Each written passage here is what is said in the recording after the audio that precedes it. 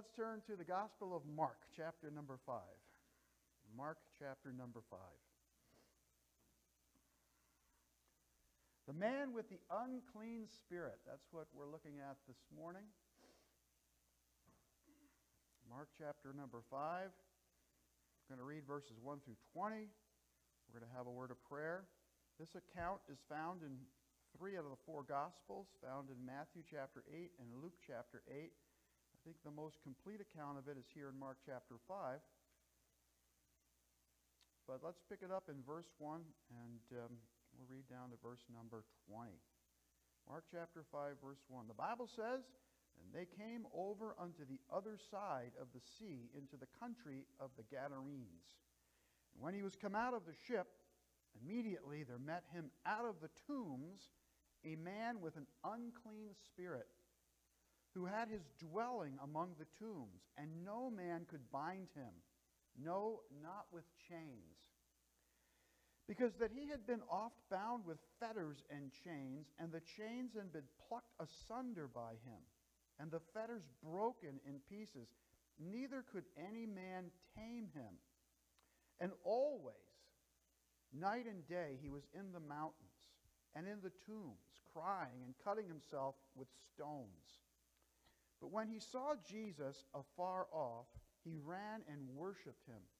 And he cried with a loud voice and said, What have I to do with thee, Jesus, thou Son of the Most High God? I adjure thee by God that thou torment me not. For he said unto him, Come out of the man, thou unclean spirit. And he asked him, What is thy name? And he answered, saying, My name is Legion, for we are many. And he besought him much that he would not send them away out of the country. And there was nigh unto the mountains a great herd of swine feeding. And all the devils besought him, saying, Send us into the swine, that we may enter into them. And forthwith Jesus gave them leave. And the unclean spirits went out and entered into the swine and the herd ran violently down a steep place into the sea, and they were about 2,000, and were choked in the sea. And they that fed the swine fled, and told it in the city and in the country. And they went out to see what it was that was done. And they come to Jesus and see him that was possessed with the devil, and, began, and had the legion sitting and clothed and in his right mind. And they were afraid. And they that saw it told them how it befell to him that was possessed with the devil, and also concerning the swine. And they began to pray him to depart out of their coasts. And when he was come into the ship, he that had been possessed with the devil prayed him that he might be with him.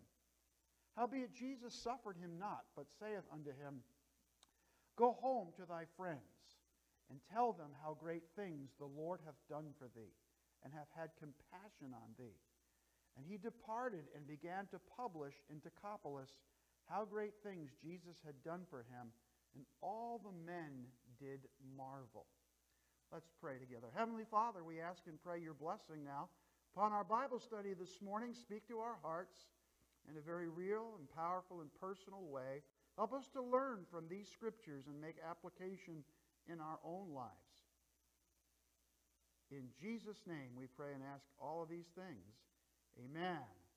So last week, if you weren't not with us, last week we looked at Jesus crossing over the sea to get to this particular place.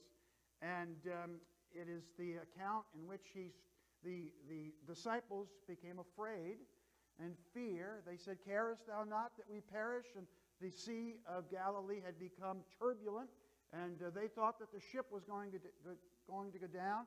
And Jesus stands in the bow of the ship and he basically says, Oh, ye of little faith, peace be still. And immediately the Sea of Galilee became calm. And now they've reached the other side.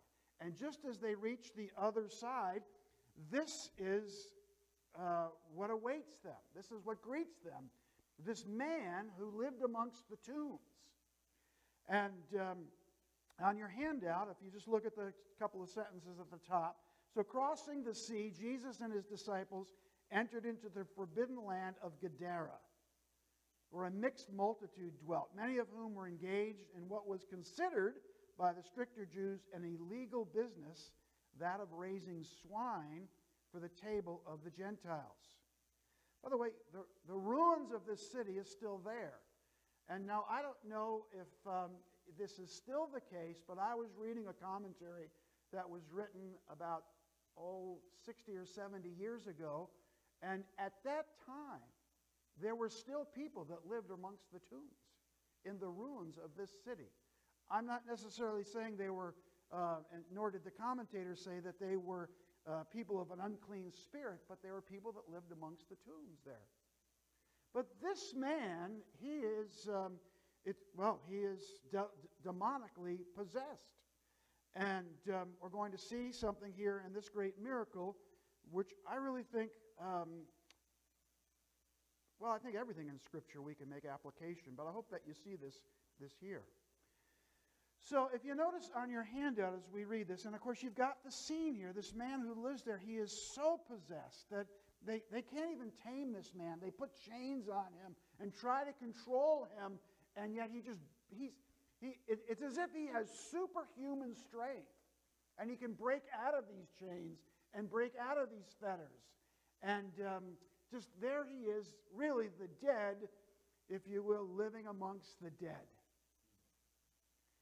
And um, we're reminded of this that Satan, we're reminded of the power of Satan.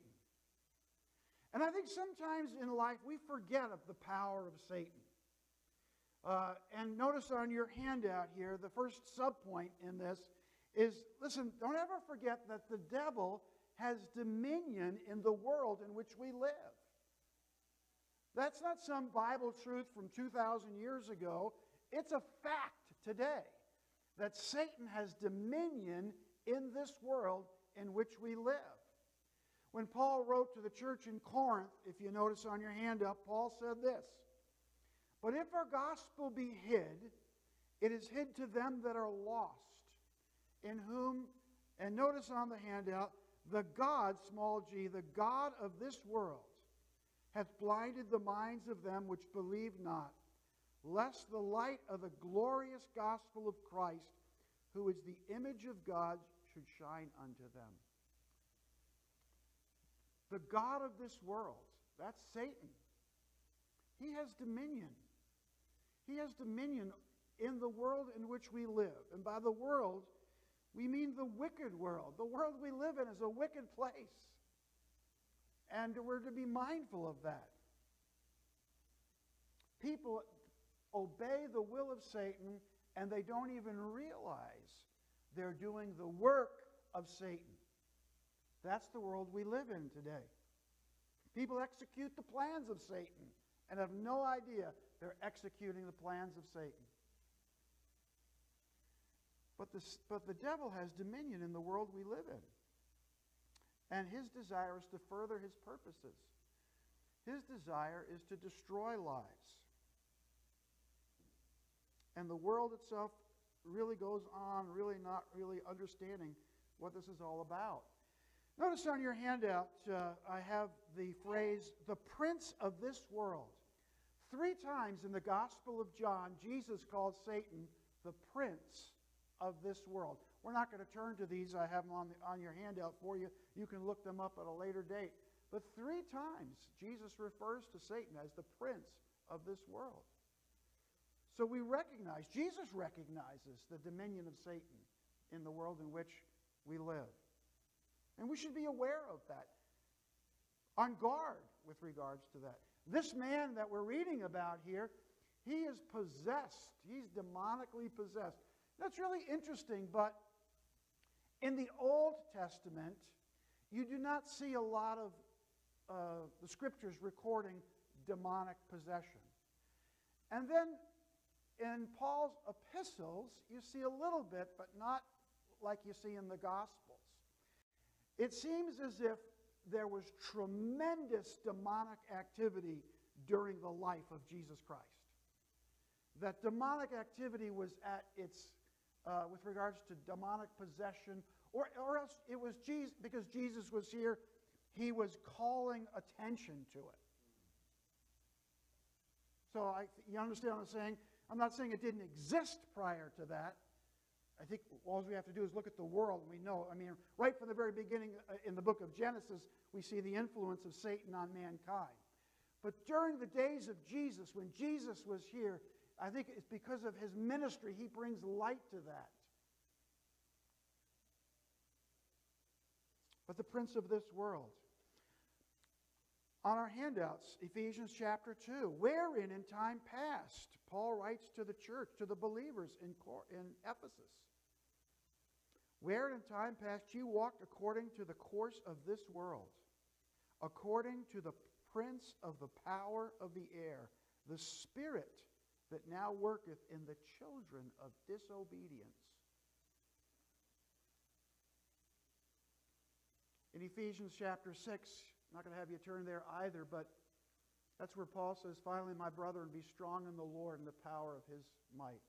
And he talks about that we wrestle not against flesh and blood, but we wrestle against, anybody know? There's four things there that Paul mentions that we wrestle against. One of them is principalities. This is, this is, these things that we're about to talk about, this is demonic activity. So one is principalities. Somebody else the rulers of the darkness of this world. Somebody else said it. Powers. Powers. And then there's one other one. I couldn't hear the authorities.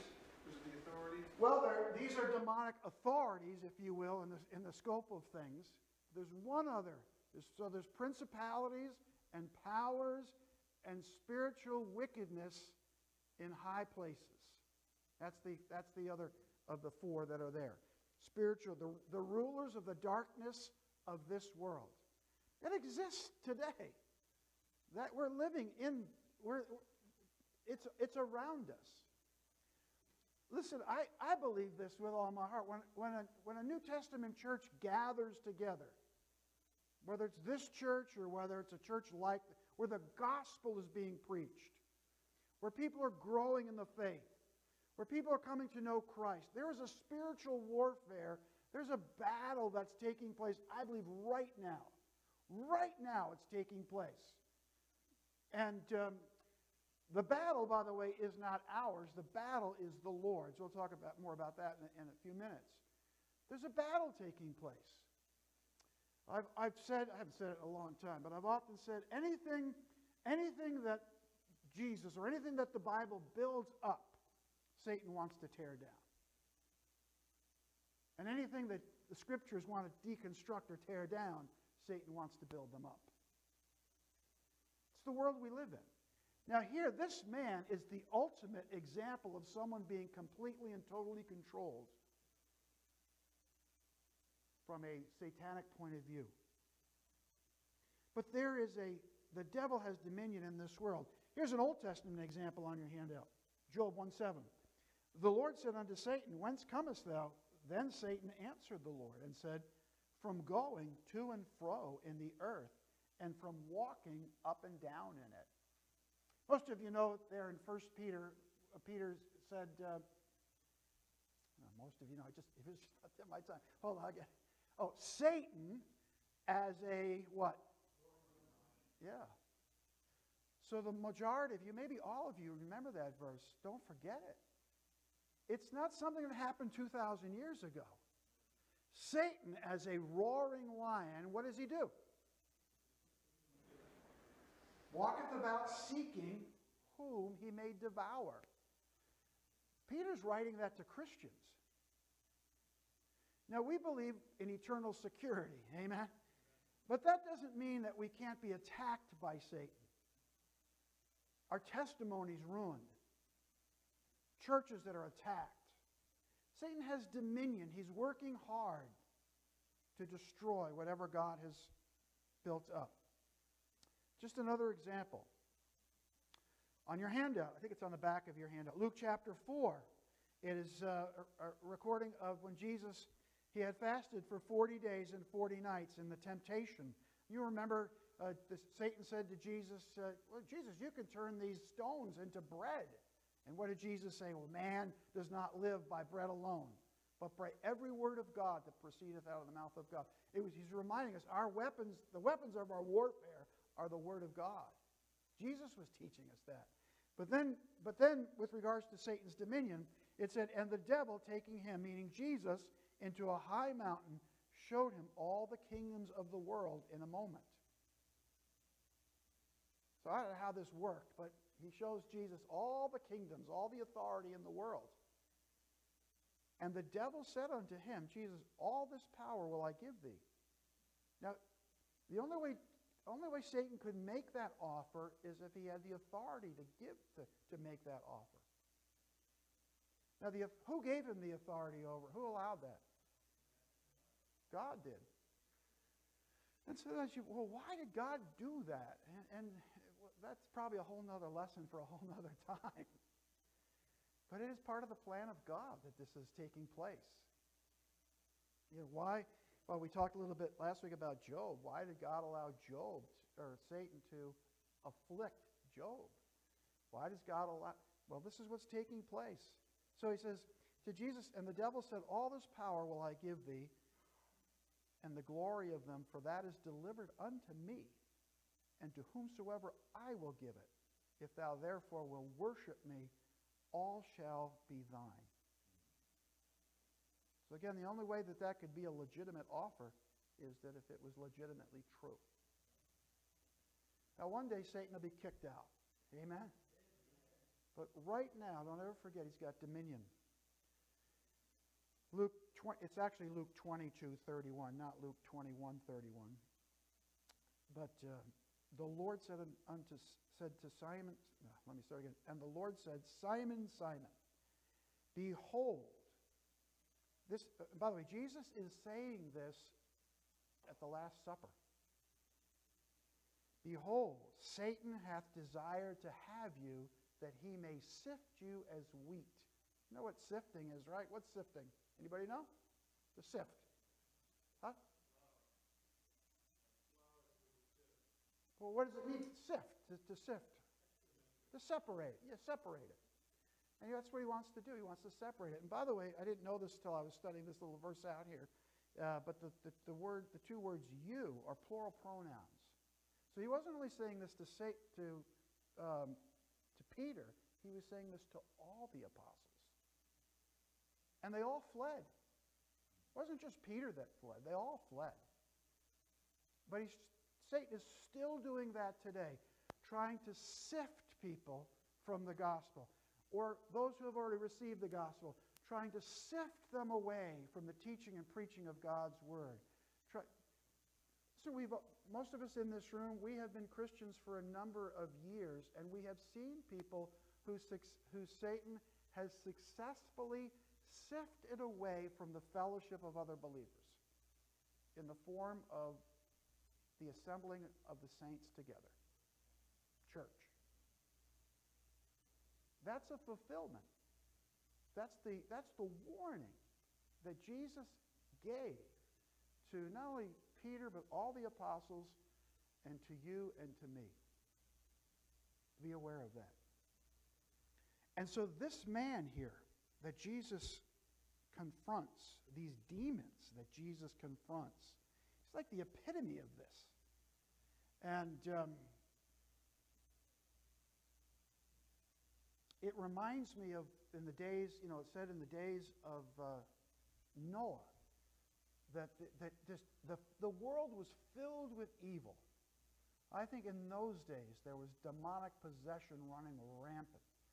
And I know Ethan a couple of weeks ago taught on the sons of God and, and, and, and um, huh? And the daughters of men, and so I'm not going to go back there. And, uh, but I, I, I really think there was a lot of demonic possession then, and that was the world that Noah lived in. So that's the bad news. now the good news. Amen? And that's the power of the Savior. Beginning in verse 5. And so always night and day he was in the mountains and in the tombs, crying and cutting himself with stones. Now, whether he was cutting in Baal worship, part of Baal worship, they cut themselves. And we know that there is, even today, there are people who cut themselves. Now, this could have been what was taking place with this man. Some think he was just cutting himself on all of the stones that were there. But the fact of the matter is, he was harming himself.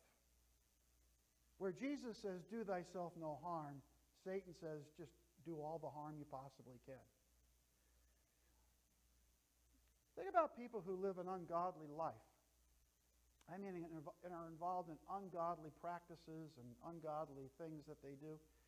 You know, the reality is at some point all that catches up with you. Your health. I'm talking about your health. It catches up with you. But this man, he's harming himself, and Jesus comes. This man is, is, a, is raging in verses 1 through 5, but in verses 5 through or 6 through 17, the rage turns to reverence. He, he sees Jesus, and, and the Bible says when he saw, verse 6, Jesus afar off, he ran and he worshiped him. Now, the Bible doesn't really say, but did the man know he was being tormented? Did, did the, he's drawn to the Lord. And it's always the Lord that draws us. Jesus came to seek and to save them which were lost. So I don't know how all of the dynamics worked here, but this man, he's drawn to Jesus. He sees Jesus afar off, and he runs to him. And then as we read through the text here, the Bible says, verse 7 After this man is worshiping the Lord, and he cried with a loud voice and said, What have I to do with thee, Jesus, the Son of the Most High God? Now, personally, I think what's happening here is this is not the man who's speaking, this is the demonic beings who are speaking that are in the man. What do we have to do with thee? And uh, they don't want anything to do with Jesus. Because while Satan has power and dominion over the world in which we live, Jesus has dominion over everything. And they know that. They know that. And um, he says to this demon, I adjure thee by God that thou torment me not. Wow. That thou torment me not. And here's this man. I'm going to get back to that in just a minute.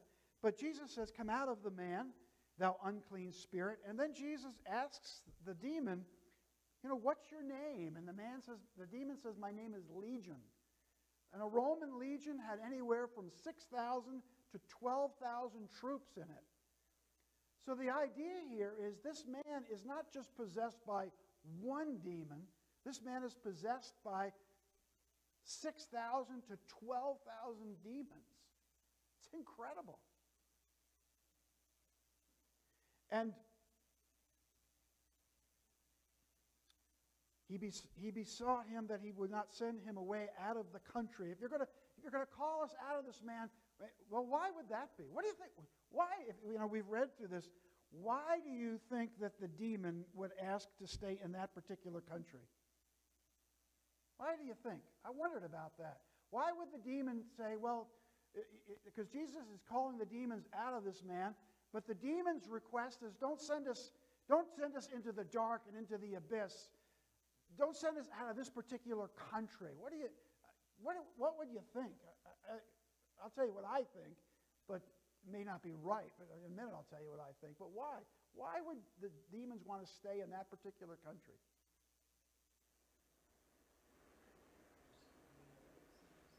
Huh? Because there were so many people there that didn't care. They were lost and they were. I think that's, that's what I think. I think they, listen, look around the world. There are certain, there are certain countries in the world where, I mean, it's evident in my mind that demonic activity is far greater than in other countries in the world. Evil places, wicked places. Yes, go ahead. I was just thinking that, uh, the, uh, coup in Myanmar didn't really happen till after Bob DeWitt and his group got into the country. Yeah, and it's not just Bob DeWitt. There have been numerous there was a, uh, there was a great outreach. He was just one of many preaching the gospel in Myanmar. And, and you're right, Jim. That's probably that's demonic activity trying to halt the work of the gospel. But I think we'll see more evidence of, of why they wanted to stay in just a minute. Um, but yeah, I think it's because that country was a place that they could almost have free reign. They were, they were being effective there. Um, but let's just focus in on the man uh, real quick. Well, not real quick, but let's just focus in on him. So the demons are cast out, and, and, the, and Jesus actually, he grants the request of the demons, and the demons are then placed into the pigs, the swine, and, and they all, all the pigs run into the ocean. And uh, we'll talk about that in a minute, or into the sea. But the man, the man, it says, let's pick it up in verse uh, 13. And forthwith Jesus gave them leave, and the unclean spirits went out and entered into the swine. The herd ran violently down a steep place into the sea, and they were about 2,000, and they were choked in the sea.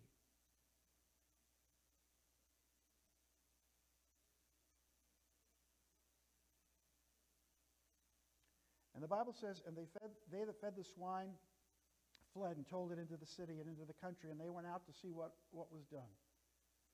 And they come to Jesus, and now look at this, verse 50. They see him that was possessed with the devil and had had the legion sitting and clothed and in his right mind, and they were afraid.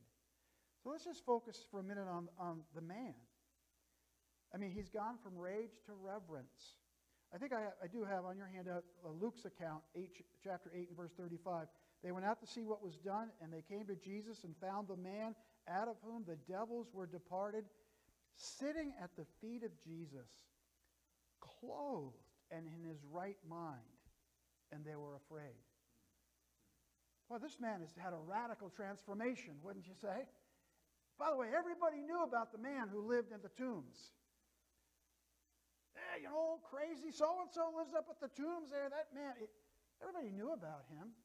I mean, if there's, a, if there's somebody that's like that, everybody knows about it. And now all of a sudden, well, it's a beautiful picture of what Jesus can do in our lives. And you and I, we may not be uh, like this crazy man, bound in chains. But on the other hand, many of us perhaps, we were bound by chains, just not physical chains. And chains of addiction, and chains of, I mean, you could fill it, you understand what I'm saying? But we were bound by the chains of sin, and we needed to be freed from sin. And our minds changed. Let this mind be in you, which was also in Christ Jesus. This man, his mind was tormented with these demons, but now, because he's come to Jesus, he has the mind of Christ. He wants to be like Christ. We see he wants to be with Christ. I beseech you, therefore, brethren, by the mercies of God, that you present your bodies a living sacrifice, holy and acceptable unto him. And be not conformed to this world, but be transformed by the renewing of your mind. If ever a man's mind was renewed, this man's mind's been renewed. It's been changed because Jesus delivered him. Because Jesus has dominion. John, 1 John 3 8, he that committeth sin is of the devil, for the devil sinneth from the beginning. For this purpose the Son of God was manifested, that he might destroy the works of the devil. Or Hebrews 2.14, For as much then as the children are partakers of flesh and blood, he also himself likewise took part of the same, that through death he might destroy him that hath the power of death, and that is the devil. And so while we've learned that Satan has dominion in this world, uh, Jesus has the ultimate dominion. And um, this man is dramatically changed. And now the demons go from dominion over the man to dread. And so back to the demons, they say this. So first they said, what, what have we to do with thee, verse 7, thou son of the Most High? I adjure thee by God that thou torment me not. You know, in James chapter 2 and verse 19, the Bible says this Thou believest there is one God that doest well. It's on your handout. The devils also believe and tremble. That word tremble is an interesting word. It's, it has the same idea as if you were so scared, the hairs on the back of your neck would stand up. So when Jesus confronts the demons, they are terrified of Jesus. They're not terrified of you, by the way, but they're terrified of Jesus. That's why the battle is not ours, it's of the Lord. That's why Paul wrote in Ephesians, finally, my brethren, be strong in the Lord and in the power of his might. Because the demons are not afraid of you, but they're afraid of Jesus. That's why we have victory through Jesus. Submit yourselves, therefore, to God. Resist the devil, and he will flee. Well, we're running out of time, so let me finish with this. And that's the power of salvation. Verse 18. And when he, this is the man who was come into the ship, he that had been possessed with the devil, he prayed with him that he could go with Jesus. He prayed him that he might be with him. Now look at what happens here. Jesus, he says, Howbeit Jesus suffered him not, but said unto him, Go thy way, uh, go home to thy friends, and tell them how great things that the Lord hath done for thee, and hath had compassion on thee. And he departed, and he began to publish in Decapolis how great things Jesus had done for him, and all men did marvel. He wanted to stay with Jesus. That's a, that's a perfectly legitimate request, wouldn't you think? But Jesus said, No, you're not going to stay with me. And um, he wasn't going to be one of the 12 apostles. He wasn't going to be part of the 70 that Jesus would send out. And I thought about that as I read that. Jesus doesn't, somebody gets saved. Jesus doesn't necessarily call everyone to be a preacher. He doesn't necessarily call everyone to be a missionary. Uh, but he does call everybody to be faithful. And he does have a plan and a purpose. And this man had a legitimate request. I want to be with you, Jesus. I, now, maybe the man was terrified that the demons might come back and better to be with Jesus. But the reality is, once we've received Jesus, he's always with us. Amen? And but Jesus says to him, listen, you go home. You go home and you just begin to publish what happened. Well, the people back home, remember the account? The people, once they heard that their living was destroyed, the pigs, and they were in the sea, the people came and they said, Jesus, please leave. You would think, wouldn't you? You would think that if they knew this man who was crazy, who was demonically possessed, who was now delivered from the demons, you would think the people would say, Jesus, stay and teach us more. They say, please leave. Please leave. You know, there's people like that today. I really, good for, it's good for you, Frank. It's good for you, this Jesus, but, I, you know, I, this, go your way. I, it's not for me. And so the man is going back to Decapolis, which is a word for the 10 cities of that area, and he's going to have to he's going to publish to people an account that took place in his life. These people have already rejected Jesus. Please Jesus, go away.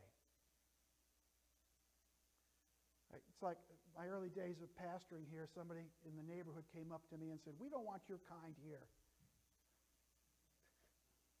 that was kind of, really? okay. They're gone, I'm still here. we don't want your kind here. So the man does that. But here's the thing the man has a desire now just to. Ethan and I had lunch with a man yesterday um, that has been watching online. He's attended church once. He wants to get involved. And he just now has, he, he, his testimony is he was an atheist. And now God has begun, this past year, doesn't know why, but all of a sudden he started to think about this. He began to read his Bible. He began to read the Gospels over again and over again and over again. And now this past year, not too long ago, he received Christ as his Savior. And now he just wants to learn about the Bible. He's got a passion for Christ. This man has a passion for Christ. That's what salvation ought to do. If somebody gets saved, they ought to have a passion to learn about the one that saved them, wouldn't you think? Amen? So this man has that passion. And the passion now is gone from, he's gone from being possessed by demons to professing his faith in Christ. And so he does that. But this isn't the end of the story. Take your Bibles, we're finished here. Just go over to Mark chapter 7. So Jesus does leave. He leaves Decapolis. They've asked him to leave, he leaves. The man doesn't leave. The man stays. The man publishes what's happened. Verse 31, chapter 7. And again, departing from the coast of Tyre and Sidon, this is Jesus they're talking about now, he comes unto the Sea of Galilee through the midst of the coast of Decapolis. Jesus returns to the very place they told him, please leave. And they bring unto him one that was deaf and had an impediment in his speech. And they beseech him to put his hand upon him. And look at verse 33. And he took him aside from the, what's the word there? Took him aside from what? The multitude. The same people the two chapters earlier said, Please, Jesus, leave. Now there's a multitude that has come to hear Jesus. Why? You know what I believe? The man published what happened. Listen, I was crazy. I was demonically possessed. I was living amongst the tombs. And I met Jesus. And Jesus changed my life. And everybody knew him. They, they would have to say, well, something's happened to this man. Something's changed in his life. This was, this was the crazy tomb guy. He's a different person. He's clothed now. He's in his right mind. And I believe it was the power of the man's testimony. Listen, I believe this. If at one time you were, if you were vigilant against the truth, now that you're saved, you ought to be vigilant for the truth. I think this man told his story over again and over again and over again and over again. I was kind of greatly encouraged as I read this because I often think, now, I always tell this story how I was a drunkard and I got saved. I probably tell that too much. But you know what? You can't tell it enough. Because that's what Jesus does. And that's you and me. We're no different. You can't tell your testimony enough. Because Jesus changed you. You, be, you were lost and now you're saved. You were bound for hell and now you're bound for heaven. This man wanted everyone to know, and you and I, we should want everyone to know what Jesus has done for us. And I think it transformed that, that whole area. People came out in a great multitude. The same multitude that said, Go away, is the same multitude now that is there sitting and wanting to know more about Jesus. That's how one life one life, one person can trans, uh, one person can transform. We know it's Jesus that does the transforming, you understand what I'm saying? But one person's testimony can transform an entire community for Christ. That's the miracle here. The man's life was changed. And every one of you that's saved, sitting in this room, you're a walking miracle. You are a walking miracle. Let's pray. Father, bless now the morning worship service. Help us to think about this man and how his whole life was changed. Help us to think about our lives. And our lives were changed and are different now. And help us, Lord, to be a people of testimony. Share our faith in the one who saved us and not to be, give us the boldness to do it. Give us, give us the ability to do it. And help us to realize that there's a real enemy that we're fighting against. And he wants us to keep our mouths shut. And we know, Lord, you want us to keep our mouths open and let everybody know who Jesus is. his name we pray. Amen. We are so glad that you've taken the time to join us today. If you've been blessed by the message, or if you have placed your faith in Jesus today, we want to hear from you. Maybe you still have questions about what it means to have a personal relationship with Jesus. Please let us know, and we would love to answer those questions from the Bible. We would also be happy to provide you with the Bible and other free Christian resources help you grow in your faith. You can email us at info at mountgreylockbaptist.com or send us a message on Facebook. You could also call us at 413 662 2107. We would love to hear from you, and our desire is to be a blessing to you